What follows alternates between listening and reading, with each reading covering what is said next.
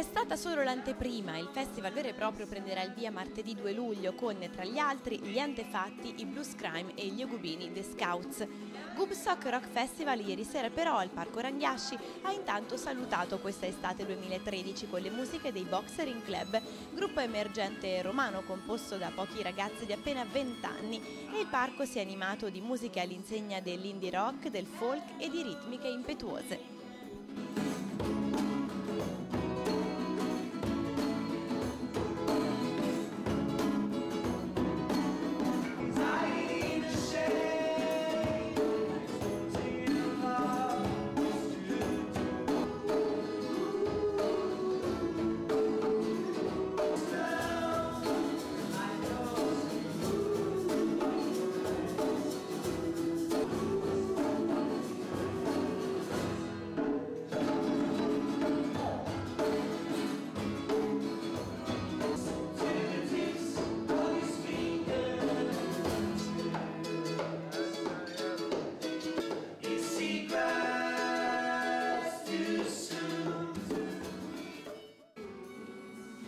Festival che ha ottenuto il marchio regionale per le ecofeste, le tre foglie che attestano per la regione l'attenzione all'ambiente. Le tre foglie sono un bel riconoscimento che arriva in fondo a un percorso che è stato fatto negli ultimi anni con il Gubstock. Eh, c'è stata sempre un'attenzione legata all'ambiente, quindi al basso impatto eh, sonoro e di rifiuti. Quest'anno ci siamo impegnati a costruire un progetto ancora più eh, strutturato all'interno del quale abbiamo eh, proposto per il festival eh, delle azioni legate alla raccolta differenziata, all'attenzione sull'impatto sonoro e, de, e, di luce, luminoso, insomma. E, mh, verrà utilizzato all'interno del punto ristoro del festival solo materiale biodegradabile per